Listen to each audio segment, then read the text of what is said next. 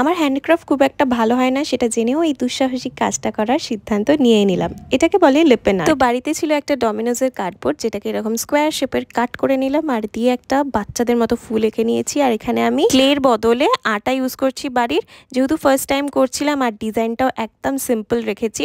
তো মেন পার্টে হচ্ছে এটা। তোমরা এই আর্ট করার জন্য যেটাই ইউজ করবে মানে ক্লে বা আটা যেটাই ইউজ করো না কেন, এই যে রোল করে করে ভীষণ পাতলা করে নেবে। যত পাতলা করবে, তত নিখুঁত এবং সুন্দর হবে। আমি যেহেতু প্রথমবার করছিলাম আর প্রচণ্ড মোটা মোটা নিয়ে ফেলেছি, তার জন্য এরকম বাচ্চাদের মতো লাগছিল। তো পরের বার থেকে আশা করছি এরকম আর হবে না। এই যে আমার প্রথম ধাপ হয়ে গেছে আর রং করার জন্য আমি একটা নর্মাল রং নিয়েছি। রানি পিঙ্ক বা হট পিঙ্ক কালার আর ব্ল্যাক কালার নিয়েছি। কম্বিনেশনটা কিন্তু ভালো লাগছিল। আর এখানে মেনলি লাগবে হচ্ছে মিরর। তোমরা যে কোনো মার্কেটে ইজিলি পেয়ে যাবে। তো এই হচ্ছে গিয়ে আমার প্রথমবারের মতো লিপন আর্ট। কেমন লাগল জানিয়ে তো চলো, টাটা!